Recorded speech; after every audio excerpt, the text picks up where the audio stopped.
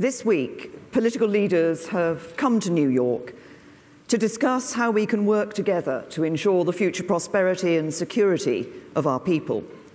And it's right that many of these discussions are taking place at the United Nations. But it is also right that I have come here to this Bloomberg Forum because we will only succeed if we also work in partnership with you, some of the most pioneering business leaders in the world today. It's businesses like yours which have been great engines of job creation and growth in my country, here in America, and right around the world. And it is the embrace of open economies and free trade as drivers of innovation and growth that has underpinned your success and acted as the greatest agent of collective human progress.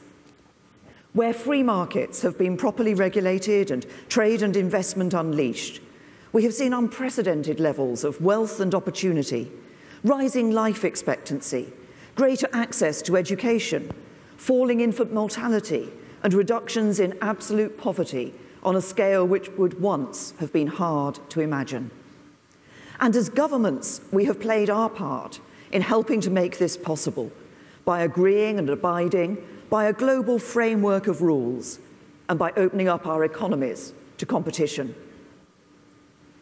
But today, new challenges, including the rapid pace and breadth of technological change, are causing some to question their faith in the institutions of global cooperation and the framework of rules which has brought us to this point. They look at who gains from free trade and ask whether this global economic system is fair and whether it can really be made to work for everyone. They look at the growth of artificial intelligence and ask whether their children and grandchildren will have the skills to succeed in the new economy. And they look at some of the tensions in global trade today and ask whether the rules based system can be really adapted to reflect the realities of the modern world. My answer to all of these questions is a bold and optimistic yes. And my message today is that a post Brexit Britain will be an unequivocally pro business Britain and a global partner that will help to lead the international response to those challenges. Through our modern industrial strategy at home, we will create one of the most dynamic and business friendly economies in the world, driving investment opportunities for your businesses and spreading the benefits of new sectors and technologies to every part of my country. And internationally, as a global Britain, we will champion our vision for the future of the global economy, a vision that is based on openness, innovation, competition, high quality, and intelligent regulation. And we will be at the forefront of sustained international efforts to address the challenges facing global trade and to build a dynamic and competitive global economy that can truly work for everyone. I've always been clear what the United Kingdom stands for and what we want to achieve as we leave the European Union. Our relationship with the EU will change with Brexit, but we will still be neighbours, we will still be part of the European family of nations, and we will continue to champion the same beliefs, standing for freedom, democracy, and the rule of law, underpinned by a rules based global order. And that's why I'm confident we can reach a deal about our future relationship that is built in this spirit. We've put forward a plan for a new but still close relationship with frictionless trade at its heart. There's no other plan that protects jobs and livelihoods and also meets our commitments in Northern Ireland while respecting how people voted in the largest democratic exercise in our history. And I believe that behind the noise of the headlines and the chattering of the commentators, there is much common ground in these objectives. We know that the other models on offer would not deliver for business, who would face either increased bureaucracy, additional border checks, or both. And so I've urged the EU to engage with our proposals so that we can move forward. To be clear, we're not seeking partial membership of the single market or in any way trying to undermine it. But we are looking to achieve the frictionless trade that I believe is in all of our interests. There's clearly a lot further to go in the negotiations, and the coming weeks will be critical. For the prize is great. With the conclusion of the negotiations over the coming weeks, the certainty of an implementation period in which to adapt to the new arrangements, and the guarantee of frictionless trade with the EU in the future, businesses can look forward to the post Brexit world with confidence. At the same time, looking beyond the EU, we are absolutely committed to delivering continuity in terms of relationships with existing bilateral partners. And we want to forge the most dynamic and ambitious free trade agreements with old friends and new allies alike. Crucially, we also have a plan to deliver an economy that is knowledge rich, highly innovative, highly skilled, and high quality, but with low tax and smart regulation. So let me say this very clearly. Whatever your business investing in a post Brexit Britain, whatever your business, investing in a post Brexit Britain will give you the lowest rate of corporation tax in the G20. You will access service industries and a financial centre in London that are the envy of the world. Some of the best universities in the world, strong institutions, a sound approach to public finance, and a consistent and dependable approach to high standards but intelligent regulation. And yes, locating in the UK, you will also be able to access the talent you need.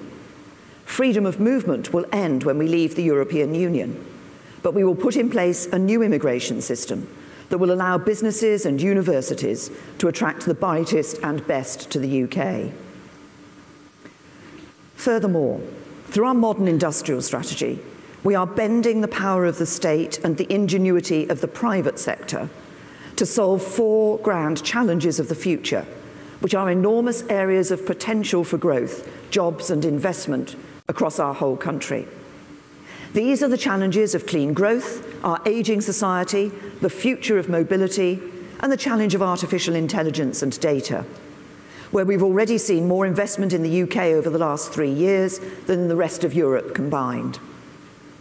We're contributing the UK's biggest ever increase in public investment in research and development, which will help develop new technologies in these four areas. And we have set a goal of total public and private investment in research and development reaching 2.4% of GDP by 2027. We will educate and train our young people for the opportunities that meeting these four grand challenges will bring. And we will ensure that we have smart, agile regulation and dynamic institutions which promote innovation but also protect people's rights just as we're doing, for example, with AI, where our Centre for Data Ethics and Innovation will make us a global leader in helping to ensure the safe, ethical, and innovative development of this new life changing technology. At its heart, our modern industrial strategy is about creating a different kind of economy for the future. It's not about seeing business and society as separate entities, where business generates a surplus, government then invests it to handle the social consequences of economic change. But instead, it's about harnessing the enormous power of business as a partner in tackling some of the greatest social challenges of our time. It's not about telling business what to do, but instead genuinely listening to business and working in partnership with you. It's about understanding what you need and working together to shape our economy in a way that will help us make the UK one of the most attractive countries in the world in which to establish and grow a successful business.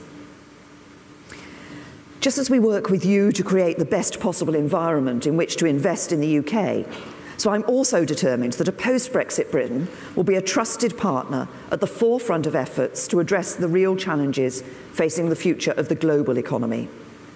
This means playing a leading role in tackling the root causes of the current tensions in global trade, where the rules have not kept pace with the modern world. If a global system is going to function properly, the participants in that system need to believe that the rules and the commitments they make to one another are fundamentally fair. They need to believe that others are playing by both the spirit and the letter of those rules, whether that be in terms of declaring what subsidies are provided or respecting intellectual property rights. They need to believe that any disputes will be dealt with fairly and efficiently. And the rules themselves need to remain relevant by keeping pace with the changing nature of trade and technology. So we need to give the WTO a broad, ambitious, and urgent mandate to reform to address the areas where it's not functioning effectively, to deal with issues that are not currently covered, and to main trust, maintain trust in the system. For example, we need to see new rules in areas such as digital trade and services, including e-commerce, that can boost growth across these dynamic sectors. We need WTO reforms to increase fairness for all participating countries and to enhance global legitimacy and public support for the multilateral trading system, including through greater transparency. We support the EU's efforts in this area, and as we leave the EU, we will want to work with them and all our partners around the world to push this forward and deliver a mandate for change. As a global and independent trading nation, we will use all the means available to us, including our positions in the G7, G20, OECD, IMF, and FSB, to pursue this agenda in partnership with others committed to the same end. And crucially, we also want to make business central to the conversation. Because at the end of the day, governments set the framework, but it is businesses that create wealth and drive innovation. These challenges facing the global economy are serious, but a global Britain will be a fully engaged and ambitious partner at the forefront of international efforts to drive reform. And I look forward to hearing from you this morning and to discussing with you what more we can do so that together we can shape the future of the global rules-based system to work for the modern world. And together we can harness the global power of open economies and free markets to deliver prosperity and opportunity for all, now and for generations to come.